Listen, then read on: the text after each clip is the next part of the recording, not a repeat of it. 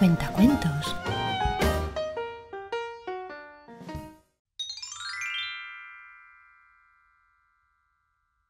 Había una vez un conejito muy pillo llamado Simón que no quería ir a la escuela. Un día, haciendo dibujos en casa con su hermana, su mamá le dijo, Mañana es tu primer día en el cole, cariño. Y él contestó, "Mm, No quiero.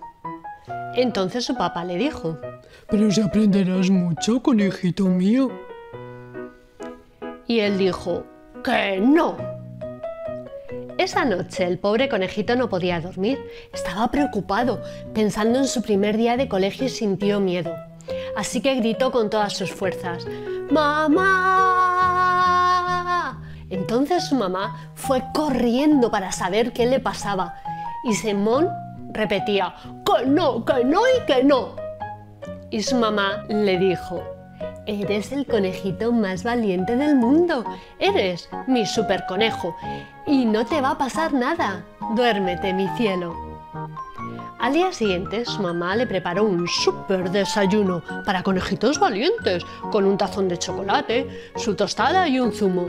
Pero él volvió a gritar, ¡Que no! ¡Quiero ir!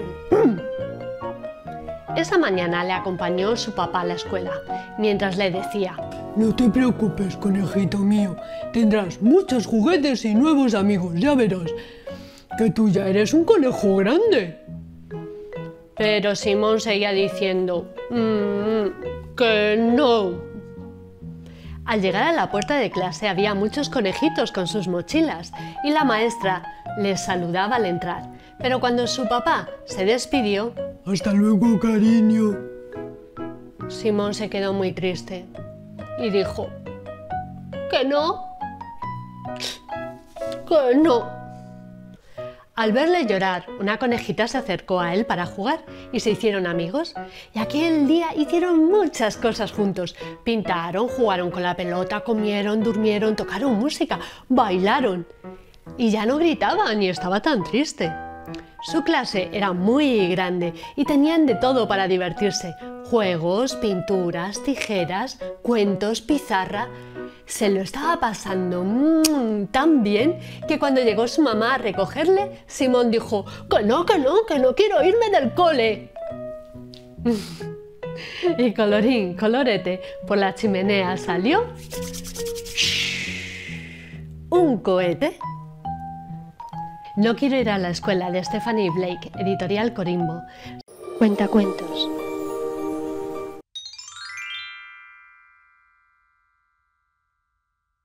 Dos brujas en la escuela.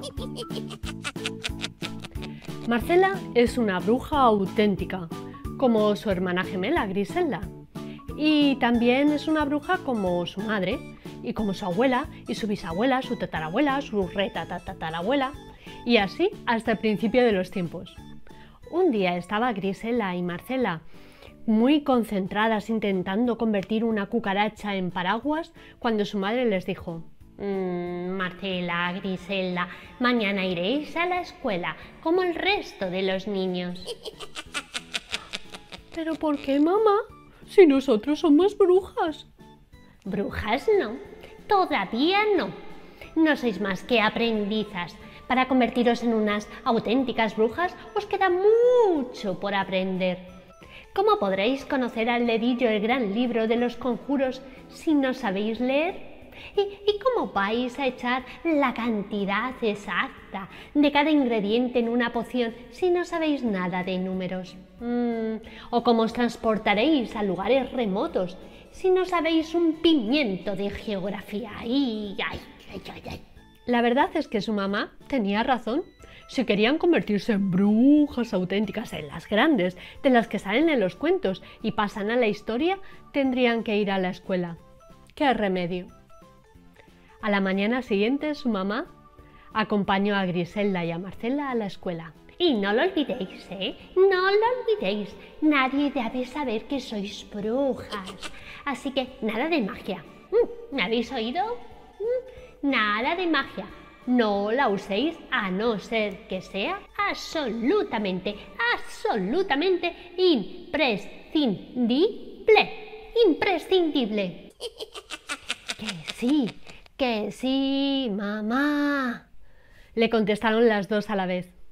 Cuando entraron a la clase, ¡qué suerte! Les había tocado en el mismo grupo que Elena y Marta, sus mejores amigas del barrio. Bien. De momento parecía que eso de ir al cole no iba a estar tan mal. Además, la profe les contó un cuento muy divertido. Pintaron, se revolcaron por la alfombra y las horas se les pasaron así, sin darse cuenta, hasta que sonó el timbre del recreo. En el patio, unos niños, Elías, Alfonso, Tomás y Rafa, los chulitos de colegio, empezaron a burlarse de ellas, de sus amigas y de Griselda y de Marcela.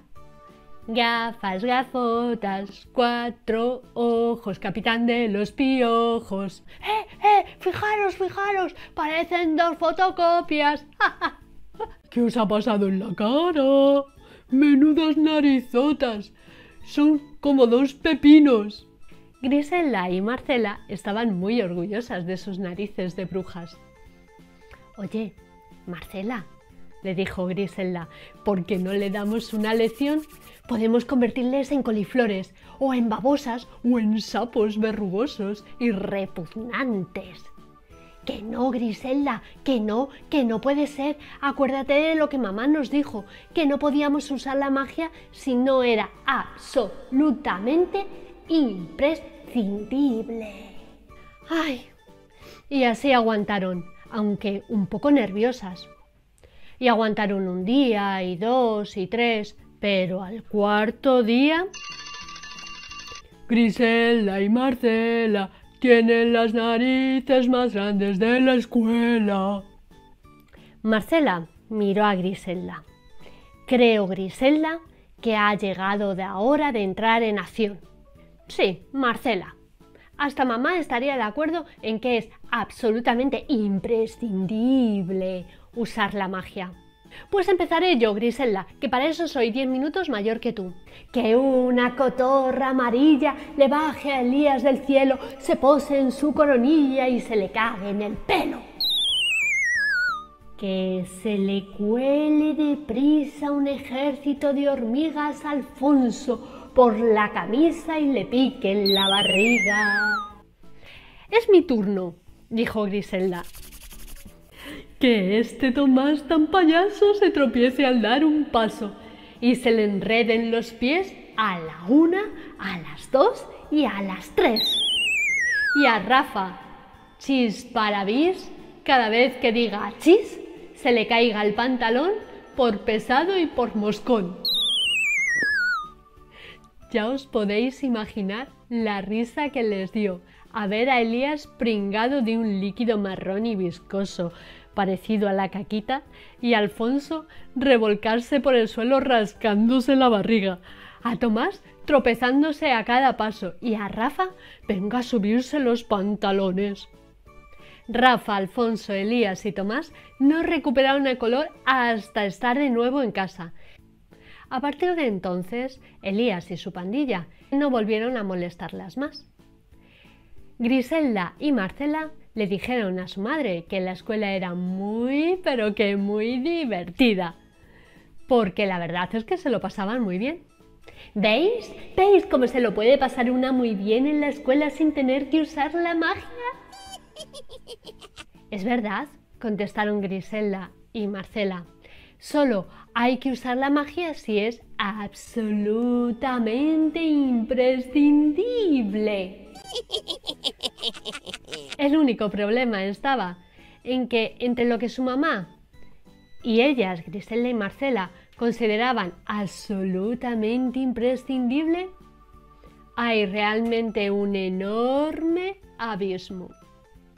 Y colorín colorado, este cuento se ha acabado. Cuenta cuentos.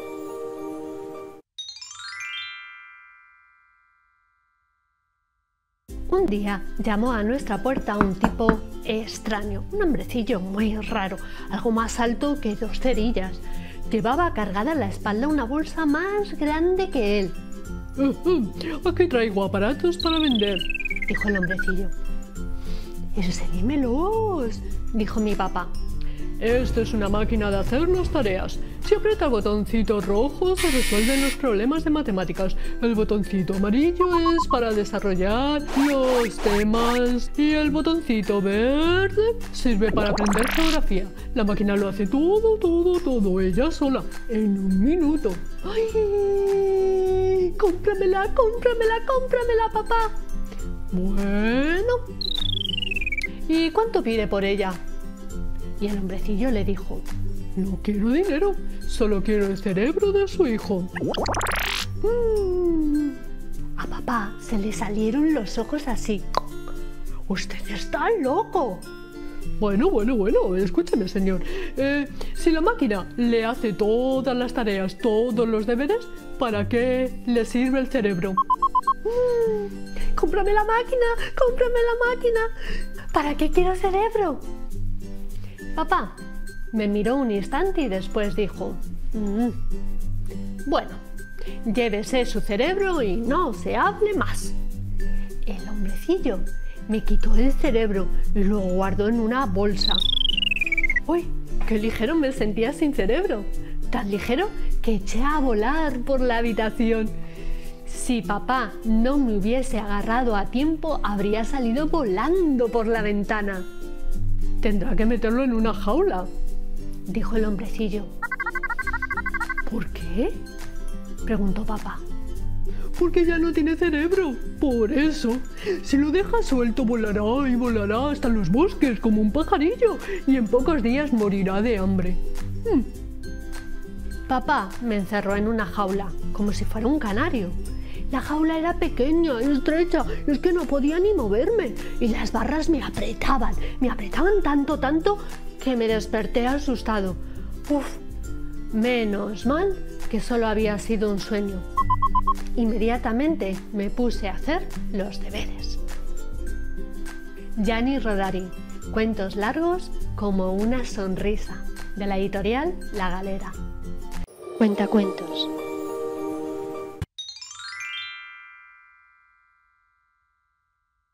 Gorila estaba tan tranquilo leyendo su libro preferido y Burro estaba con su tablet. ¿Qué tienes ahí? le preguntó Burro. Es un libro. ¿Y, y, ¿y cómo ajustas la página? No funciona así. Paso las páginas. Es un libro. Mm, ¿Sirve como blog? No, es un libro. ¡Tuitea! No. Envía mensajes. ¿Tiene wifi? Eh, ¿Necesita una contraseña? No. ¿Puedes hacer esto? Y... No, es un libro. El burro agarró el libro y se puso a leerlo. Mm, mm, mm.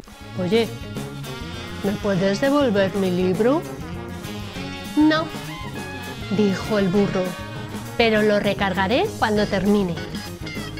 ¡Ay! No es necesario. Es un libro. Es un libro de Lane Smith, editorial Océano y editorial Océano Traviesa. Cuentacuentos.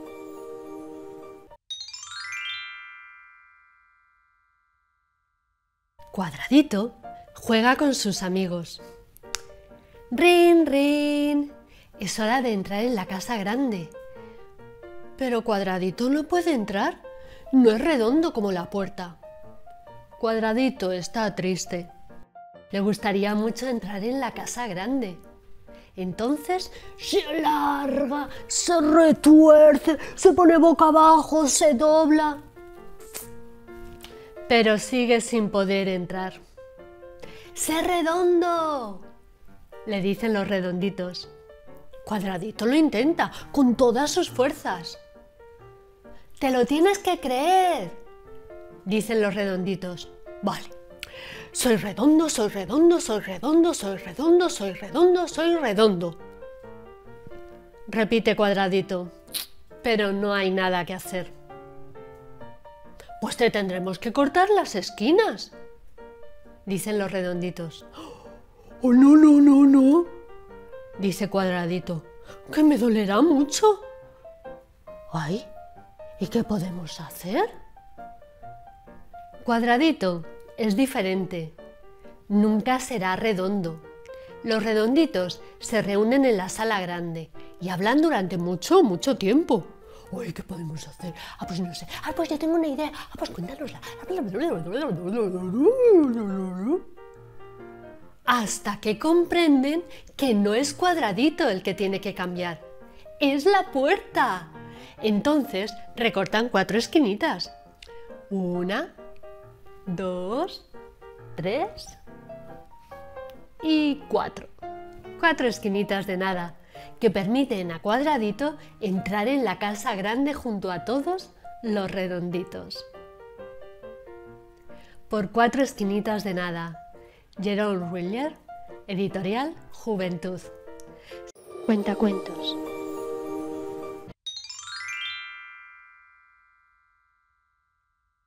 Cuando Juan nació, era muy pequeñito. Bueno, era así de pequeñito y todo el mundo parecía enorme. Pero a medida que iban pasando las semanas, Juan se iba haciendo más grande y pesaba más. Juan aprendió a gatear. Bueno, primero tiraba de la bata de su mamá y después aprendió a andar y se agarraba a los manteles y tiraba todos los platos de la mesa. ¡Ta, ta, ta, pum! Aprendió a hablar perro. Aprendió a pintar y pintaba la cara del perro de verde. Aprendió a escribir y a leer y todo eso sucedió a medida que Juan se hacía mayor. Crecer es una cosa divertida. Parece que ocurre sin que tú te des cuenta, pero estás creciendo todo el tiempo y de repente ¡bum! Ya no te valen los pantalones. Uy, ni los zapatos. Los papás de Juan le dicen que necesita comer muchas cosas para poder crecer. La leche es buena para los dientes y para tener unos músculos fuertes. Mm. La fruta mmm, y las verduras, qué ricas, le ayudan a tener una piel sana. El pan, las judías, la carne, el pescado, mmm, los huevos y el queso hacen que sus músculos sean fuertes. Juan necesita hacer mucho ejercicio para que su cuerpo crezca fuerte y sano. Por eso salta mucho en la cama elástica y corre por el parque. Corre que te pillo, cara de membrillo. Cuando estás creciendo, también se necesita dormir mucho. Y Juan duerme un montón. Las plantas también crecen. Juan plantó una semilla diminuta, así de pequeñita, y ahora se ha convertido en una planta así de grandota. Hmm. Las plantas necesitan alimento de la tierra, la luz del sol y agua para poder crecer. Y los animales también crecen como nosotros, desde pequeñitos. La gata de Juan ha tenido seis gatitos. Miau, miau.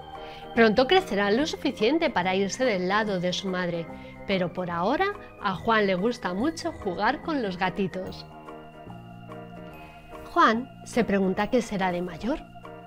¿Tú también te lo preguntas? A lo mejor Juan será astronauta o, cocinero y hará ricos pasteles. ¡Ay, qué rico! Mm. O jardinero.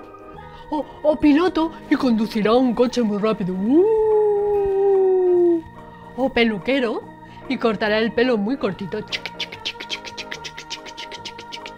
¡Mmm! ¡Qué divertido es esto de crecer! Estoy creciendo. Editorial Edelvives. Escrito por Mandy Sur, ilustrado por Mike Gordon. Cuentacuentos.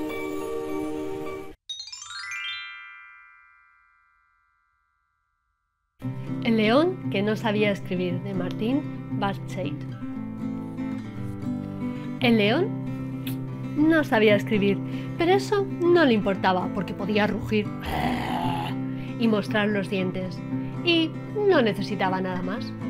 Pero un día se encontró con una leona. La leona leía un libro y además era muy guapa. El león se acercó y quiso besarla, pero se detuvo y pensó. Una leona que lee es una dama y a una dama se le escriben cartas antes de besarla. Eso lo aprendió de un misionero que se había comido, pero el león no sabía escribir, así que fue en busca del mono y le dijo, em, escríbeme una carta para la leona. Y el mono le escribió la carta. Y al día siguiente el león se fue a correos con la carta. Pero como quería saber qué es lo que le había escrito el mono, se volvió y le pidió al mono que lo leyera. Y el mono leyó. Queridísima amiga, ¿quiere trepar conmigo en los árboles? Tengo muchos plátanos. ¡Exquisitos! Saludos, León. ¿Cómo? Pero no. Rugió león. Yo nunca escribiría algo así.